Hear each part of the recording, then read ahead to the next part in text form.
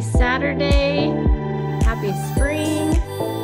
I'm so glad that you are tuning in. Um, we are here live to answer your questions about holographic manipulation therapy. If you have questions, post them below and I will do my best to go back and forth and and find the questions so that you can have your answers. If you are not part of our um, Subconscious Healer Facebook group, I encourage you to do so. I'll post the link after uh, this live so that you can join that group. We have lots of information that we post in that group, um, announcements, events, um, helpful information. So please join our, our Facebook group, the Subconscious Healer, and uh, you know, join a, a, a wonderful community of people wanting to you know, learn about their traumas as well. All right, so I'm here with my husband, Dr. Gabe Roberts, and we're going to answer your questions today. Um, let me make sure that I am sharing this everywhere. One second, I want to make sure that we put it on our Facebook page and our subconscious healer group. Share to the group. Okay. Great. Okay, I think we've got it shared everywhere. I'm going to put it on your page too, hun. Um, share to a friend. All right. Okay. So the first question that we had was from Leslie, and she says, How do we know that we can trust a therapist? It's a good question. That's a that's a really um, good question.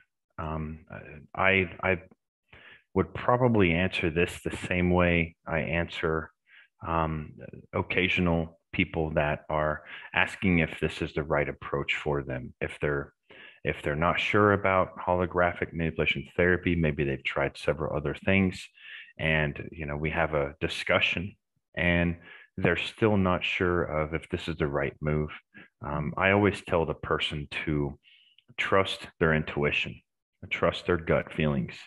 Um, and I have recently had a um, gentleman tell me I trusted my gut feelings once, and it it gave me a it led me astray, and I had to correct him right then and there and say, "No, I'm afraid you did not listen to your gut feelings because your gut feelings won't lead you astray.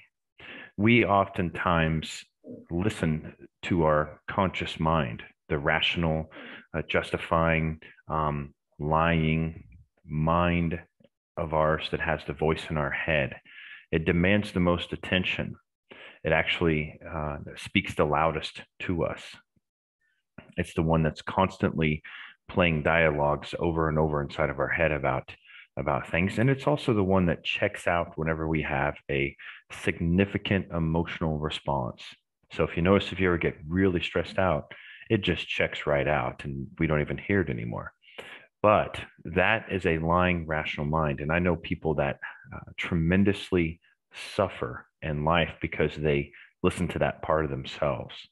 Um, I know people that have had uh, horrific accidents because they ignored their gut feelings they trusted that part of their mind and it it basically led them right into a state of misery.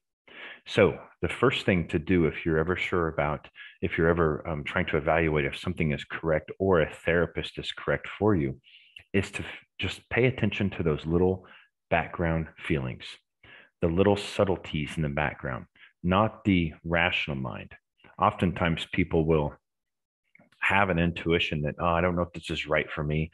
Uh, a great example is if they start a new relationship with someone and their gut feelings is saying, Ooh, that's a red flag.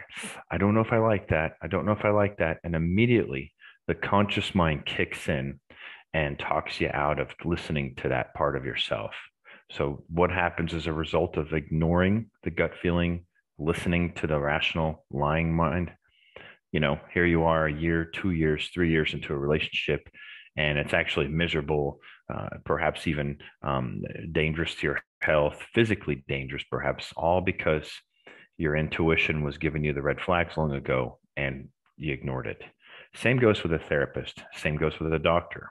I always tell people trust your intuition and it will always um, it, it's it's connected to the web of reality. Your unconscious mind answers first, it answers correctly, and it does not have the capacity to be dishonest. And if you trust that when it comes to someone, if you have just this feeling deep down inside, ah, something's not right. I don't know if I trust this. Something just doesn't feel right. I'm not getting a good vibe. Um, all those are ways of your your GPS is beeping and telling you that there's warning ahead. Listen to that. Don't listen to the voice in your head that's going to try to rationalize or justify um, you know the circumstance because it it will um, oftentimes more often than not lead you into misery if you're not listening to that that fainter part of yourself. Right and i think that that is probably the biggest um, indicator on whether or not you feel like that therapist would be good um, also are they getting the results that you want? Um because if right. they're not then obviously that would be an obvious choice um, to not go with that person. Are are their um, goals and mission in their therapy align with what you feel is necessary? Um, if they're just going to prescribe a drug and if, if you wanted to go holistic that doesn't mesh well right? Um, right if the so, person if the person has integrity or not right um, if the person gives you um, one thing we used to interview doctors long ago, and one of the things that was either a red flag for me or a green flag, I guess you could call it, where I was okay with it, was would I trust this doctor? Would I trust this professional? Would I trust this person alone with my child in a room for a moment, you know, for a few moments? If you know someone and you would not trust them with your child alone just you know, because who knows what could happen? They could say something, they could do something. That's a really good indicator that that person is not someone that you would like to associate with. Right. Um, Leslie also says, um, How is this therapy different from standard therapy that most people know about? Uh, many ways. I mean, I could probably talk for an hour on just that alone. Um, one of the one of the hallmarks of holographic manipulation therapy is its ability to locate the millisecond of overwhelm. So when the first um, uh, when the first moment of overwhelm occurred, usually between the ages of zero to six, um, that have everything to do with why you're there. There's some reason that you've you know um, sought out the person, you've sought out the therapist. There's something you're wanting to get resolved and more often not, you have no idea where the origination comes from. Uh, and that's the case in about 98% of the time. People come in, they have some kind of issue, whether it's pain, whether it's fatigue, whether it's anxiety, uh, whatever it might be, um, and they don't know the origination of it. Holographic manipulation therapy goes right to the very first time it happened, so it can pinpoint it with, um, you know, incredible accuracy right away. Uh, talk to the nervous system and the neurology in a way in a language that it fully understands, um, create counter frequencies and countermeasures to cancel out all the um, all the fragments of that trauma or that moment of overwhelm, and additionally um, address any lessons, any kind of experiences that the unconscious mind wants the person to hold on to from that moment.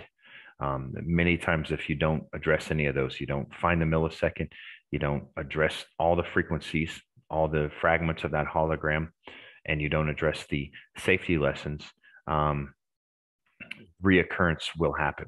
It's just a mathematical certainty. If you address all of those, the chances of a person ever reliving that experience again uh, is zero. And what I mean by reliving that experience is we we create our reality first off. We think that we're just kind of navigating in the here and now and we're adults that are in charge of our life but we are not thinking. We are remembering. We're remembering things that have happened to us in the past that we've long lost forgotten that's buried into the deep uh, crevices of the unconscious mind but show itself as little in little um, feelings, little guidances, little annoyances, little triggers that show up. That's the language of the unconscious mind. Uh, for instance, had a gentleman come to me and he had a severe anger problem, and I said, "When's the last time you got angry?" He said, "I hired a guy to fix some things at my house. Um, they weren't fixed. I returned. I went out of town. I came back. They weren't fixed. I said, you know what happened? Um, I got really angry when I got back and nothing was fixed. And I said, okay, that's what happened, but what caused you to get angry? He went right to, he took advantage of me. He lied to me.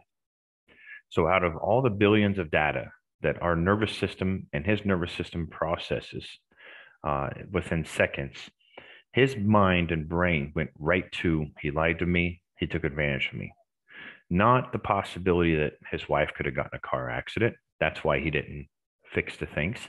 Uh, not that his kid could have had an accident, not that he himself could be ill. Out of all these different possibilities that exist, his brain went right to he lied to me, he took advantage of me. And why is that? That's not accident. A person's mind and the way they react to any circumstance shows what happened to them first because our mind is constantly sorting within nanoseconds of our previous experiences of what happened to us and it creates a it creates a, a, contextual story of how we deal with the present here and now based on our history so uh, your unconscious mind is constantly navigating uh, using like a, a compass and navigation tools based on what happened first so when you go back and you change that you actually give a new history for the nervous system to um, refer back to. And it can actually completely change the perception and ultimately the experience a person has in their life um, in the present day.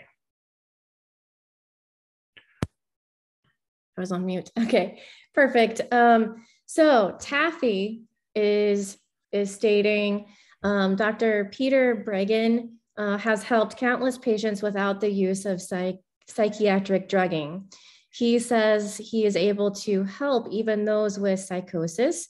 Is there a way to integrate this type of care with this so that people with psychosis can be helped as well? Um, you know, and we were discussing this earlier. I really think that that is what we do because um, getting rid of the the trauma within your hologram and your nervous system, you revert back to what humans really are meant to be is love with empathy and compassion and happiness. Uh, can you maybe expel upon that? Right. So Dr. Peters' work is successful uh, in the same ways that holographic manipulation therapy is because it allows the individual to um, obtain the emotional needs that were not met at the time. So Dr. Peters' work, if I'm not mistaken, uh, his approach is connection and and love and empathy for others and things like that. Um, and basically, what you're doing is you're you're meeting the need, a biological necessity that humans have. Uh, more often than not, whenever a person is traumatized, it doesn't necessarily mean you know battlefields or um, you know really really extreme situations with substance abuse or things like that. It certainly can, but more often than not, it's an emotional need that wasn't met. It's, um, you know, a child was trying to say something to a parent at a particular time and they were ignored, or uh, a child hurt themselves and was crying, expressing a need, and the parent had a different priority. Um, I've I've seen people that are um, you know develop breast tumors and things like that because you go back to the first time the feeling that has everything to do with what caused that and it's a it's a little girl getting hurt and bawling in pain and the mother was more concerned about making dinner for the guests. Um, you know boom that's an that's an, a neglect. That's an emotional need not being met in that younger i think she was maybe four or five at the time and now it stems as an emotional need not being met and just catapults more and more and more into manifesting as you know physical lesions on an adult woman so what our work is based on and what his work is based on is meeting those emotional needs of the children that weren't met at the time and their absolute biological necessities. And when that happens, there's a, a, state of harmony and the body begins to heal because it's getting what it needs. Uh, it's getting those needs met.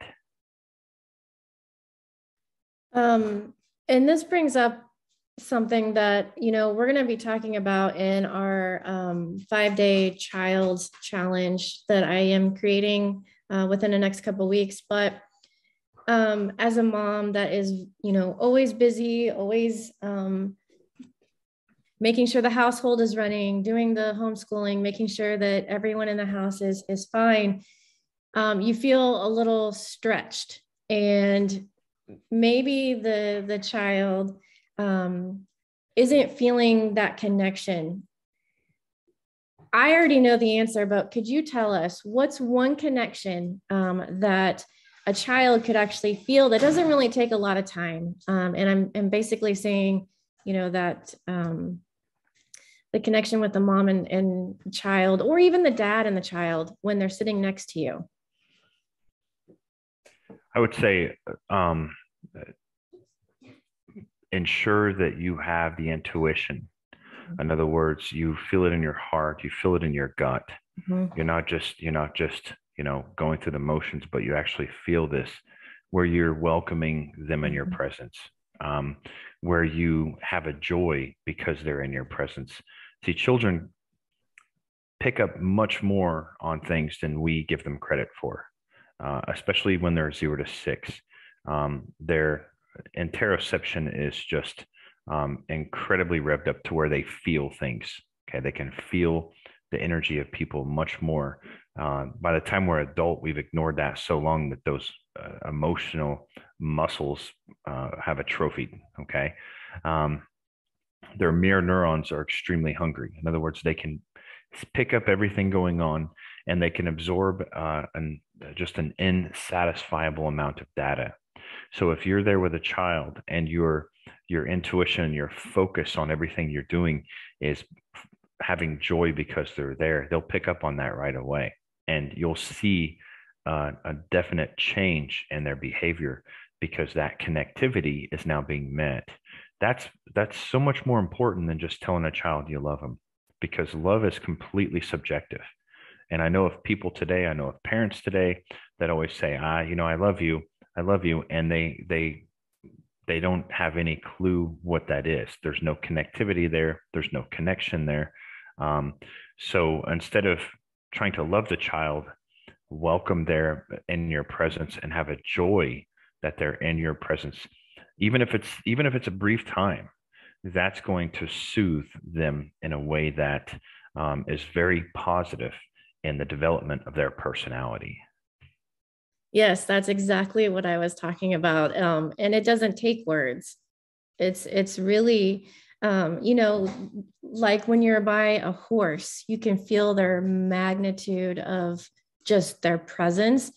That's what we're really talking about. Have that presence within your your heart that you really want to be with that child, and it could take as little as a minute or two, and it changes their world. Right. So, um, you mentioned a lot about going back to the age of zero to six. Um, how does that change a person's life today? Okay. Um, I kind of briefly touched on this when we first started today, um, but the but we we create our reality. Okay, um, we basically, and this is all neuroscience based.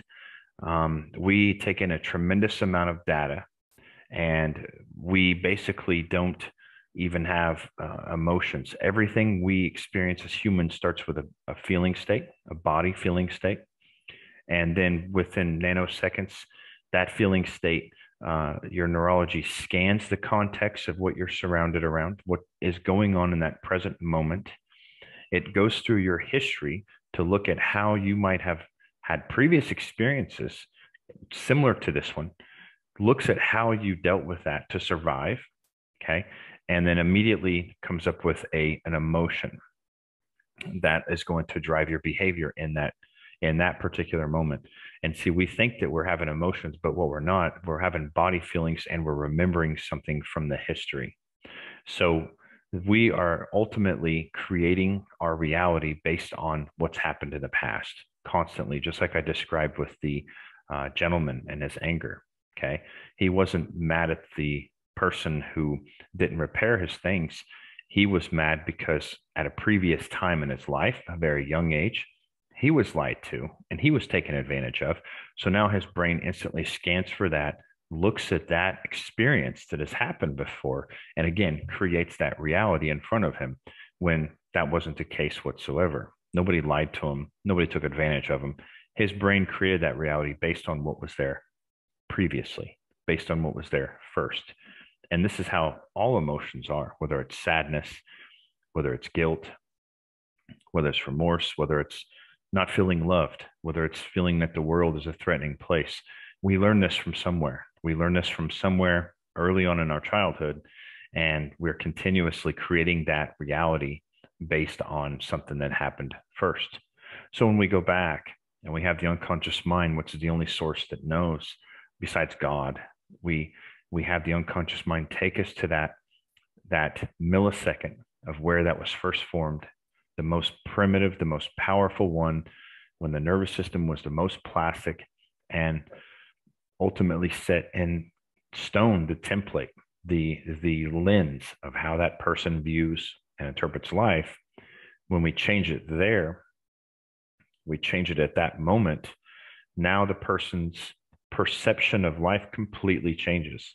Because again, every experience we have throughout life, throughout the day to day process when we're just kind of navigating and doing things, your nervous system is scanning um, huge amounts of data and ultimately creating your reality based on your history and based on events that have happened that you've done in the past. And this is all happening in, in nanoseconds. When you have a different history for your unconscious mind to use as a reference, it completely changes your perception. And so people don't feel threatened suddenly. Uh, they feel like they're loved and accepted. They don't mind being by themselves. Um, they learn to stand their own boundaries. They learn to say no when they should say no, without without the feeling of oh I've going to hurt this person's feelings and now I'm going to lose that connection and I don't know what I'm going to do with, with without that connection. See that doesn't even register them anymore. They just say no I'm not feeling it today. That's what I'm going to do, and they they learn to say no when they should say no. And as a result of that, they're creating that reality. Their body is manifesting that, and they begin to become much more um, tolerant to things like microbial overgrowth and and uh, environmental toxins and things like that. So when a person's overwhelmed with toxins, when they're overwhelmed with um, microbes, they're there for a reason. They're there because the person doesn't have healthy boundaries healthy boundaries on saying no when they should, um, healthy boundaries on and not allowing the people in their life that they shouldn't. Um, as as I like to put it, if you have parasites coming into your life, you have parasites coming into your body. You're having parasitic. You're having people that have the characteristics of parasites around you as well. Right. I was on mute because the dogs are crazy this mm-hmm. morning. That's great. Um, okay, so I don't see any more questions that are posted. Would you like to add anything further before we close up today? I can't really think of anything. Um, just, you know, keep in mind that uh, whenever you have a significant emotional state, uh, this is what I always like to tell people because this is fairly um, new to uh, neuroscience, kind of a, a, fairly new discovery whenever we have a big emotional state come up, it will actually completely change what we consciously pay attention to. So be aware of that. Be aware that when you have an emotional state come up, your mind actually will even lie to you more and will do anything and everything to keep that emotional state alive.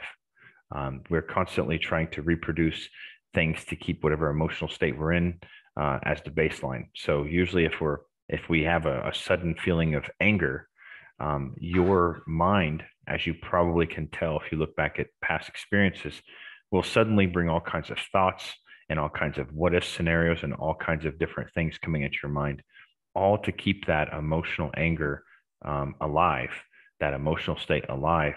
and those thoughts, those what if scenarios are completely fabricated. Mm-hmm. So understand if you have an emotional shift, your mind will lie to you to keep that emotion alive. This is very useful for good ones, but it's also very, um, it can be very um, negative for bad ones. You know, and that's that's kind of the origination of why people have grudges and things like that.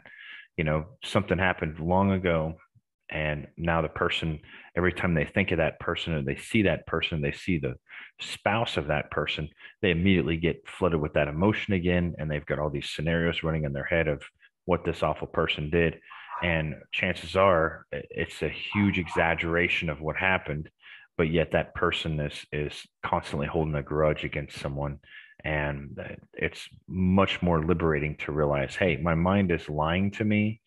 It's doing things to keep that emotional state alive uh, and the things that it's telling me are not true.